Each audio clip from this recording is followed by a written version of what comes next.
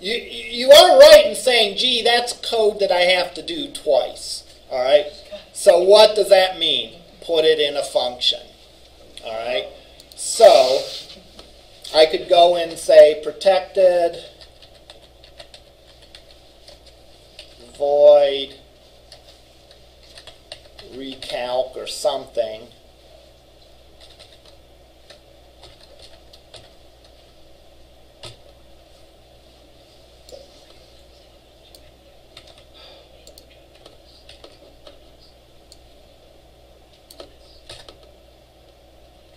And then just call recalc.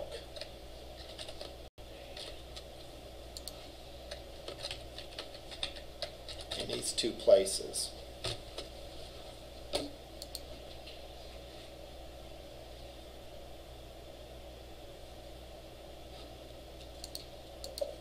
And that should work. Now, two things.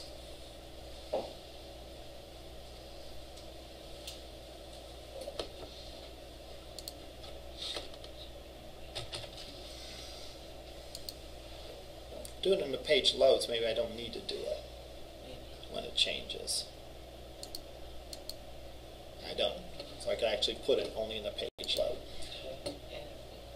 Except, I'm going to muddy the water here a little bit. Because, and again, for this particular thing, it's not relevant, but I can test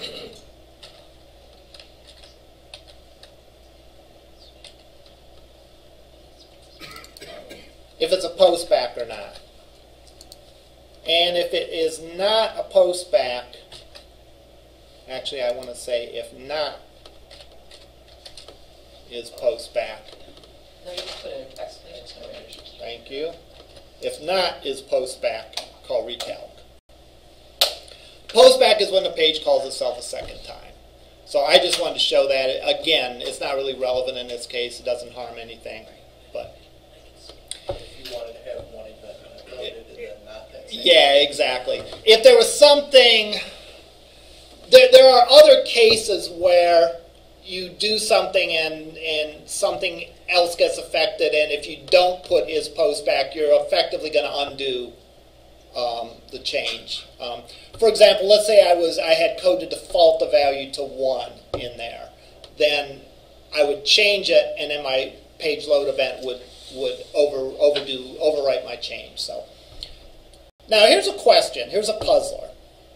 And the question is, is am I being a hypocrite here? All right, that's the question for today. Yes. Yes, maybe, but not not regards to this. Question is, is back when I was talking about coupling and all that, I said that there should be arguments to this function, return values. That this function shouldn't be referring to drop downs and, and all that. Yet I didn't do that here. Well, we're just trying to go faster, Maybe.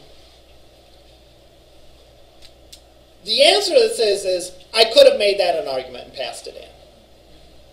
But in this case, I wasn't too concerned about it. Why not? Because this code, by definition, is only going to live on this page. This is not code that I ever have any thoughts of reusing. All right? This is essentially code that I know belongs with this page and never is going to change. Contrast that with this code. Where this code I know I'm probably going to want to use on other pages. So I want it to be uncoupled from the user interface. This code, eh. Um, really, probably minimal chance I would ever want to reuse that anyhow, so who cares? All right, so probably the better way still would be to pass an argument, but this is a function I wouldn't lose sleep over because I know that this is not reusable. Um, I hope that doesn't confuse things at all. If in doubt, pass arguments and don't refer to the user uh, interface uh, elements. But again, the reason you do that is largely for using something across several different pages and, and with different user interfaces. So if you know that that's not an issue, then eh, it's probably not quite as big a deal. All right, one thing I would like you to do, this, this lecture actually went longer than I thought. One thing I would like you to do is most, if not all of you, have turned Lab 3 in. Okay? If not, I assume you're working on Lab 3.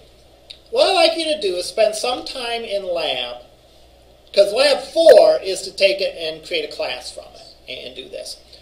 Before you do that, though, this would be a prime opportunity to look at your code and think about refactoring on how you can make it better. So what I'd like you to do is I'd like you to pair up with someone and look at the code they have for Lab 3. You know, you can swap code, you know, however you do it, that's fine. Look at the code you have for Lab 3 and offer suggestions to the other person on how they could improve the code. All right? If you have questions, let me know.